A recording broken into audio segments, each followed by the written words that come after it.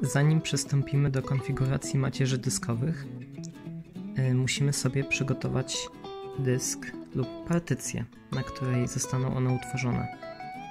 W przypadku maszyny wirtualnej o wiele łatwiej będzie nam to zrobić na dysku wirtualnym. Y, tutaj mam dyski, które już sobie wcześniej utworzyłam i przygotowałem. Możemy także sobie stworzyć nowy dysk. Najlepiej zrobić to na przykładzie VHD, czyli wirtualnego dysku twardego. Ustalić rozmiar, przydzielić nową nazwę i gotowe. E, kiedy już mamy przygotowane dyski do utworzenia partycji, możemy uruchomić OpenSUSE.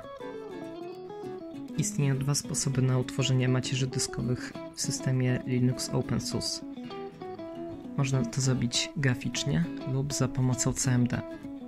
E, przedstawię ten pierwszy sposób, ponieważ jest o wiele prostszy i czytelniejszy. Uruchamiamy JAST, następnie musimy wyszukać e, opcję partycjonowanie. Zatwierdzamy. Wybieramy zakładkę Write i wybieramy opcję Dodaj Write. Tutaj mamy nasze dyski. Wybieramy dyski, które nas interesują. Wybiorę te dwa przykładowe. Dwa dyski wystarczą mi do utworzenia y, rajdu typu pierwszego.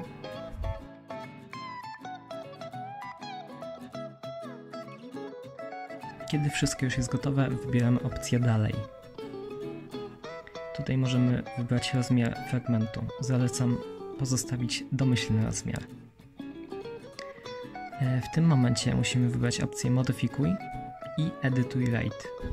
Tutaj wybieramy rolę, jaką będzie spełniać nasza macierz. Jeżeli nie wiemy, jaką rolę przydzielić dla naszej macierzy dyskowej, wybieramy opcję ostatnią, czyli wolumin surowy niesformatowany.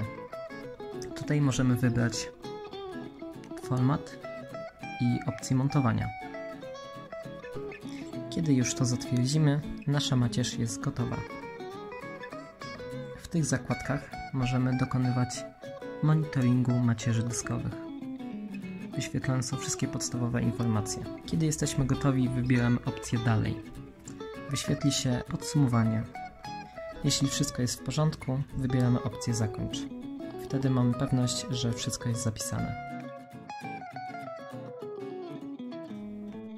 Gotowe.